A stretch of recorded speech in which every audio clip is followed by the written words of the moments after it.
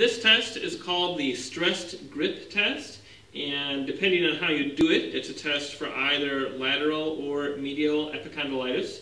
Basically, what you do with a stressed grip test is you take grip measurements in the standard position first, and typically when I'm doing the stress grip test, I just do one repetition um, for each measurement uh, because these patients typically are fairly, fairly painful already uh, with grip. So can I have you just put your elbow by your side? Yep. And go ahead and grab that and squeeze as hard as you possibly can. Squeeze, squeeze, squeeze, squeeze, squeeze.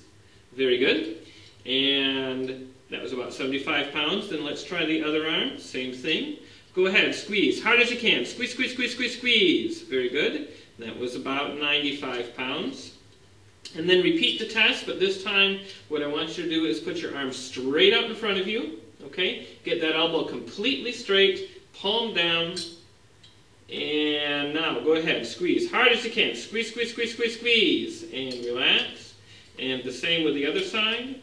Go ahead, elbow completely straight, squeeze, squeeze, squeeze, squeeze, squeeze, and relax. All right? Uh, did you notice anything with that? Not necessarily. Struggled more with the right side than the left. Okay, all right.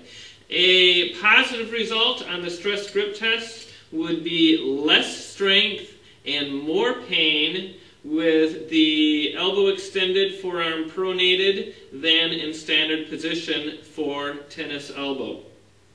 If the tennis elbow is severe, they'll also have uh, pain and diminished strength even in the standard position. But the contrast between the standard position and the stress position is what you're really looking for.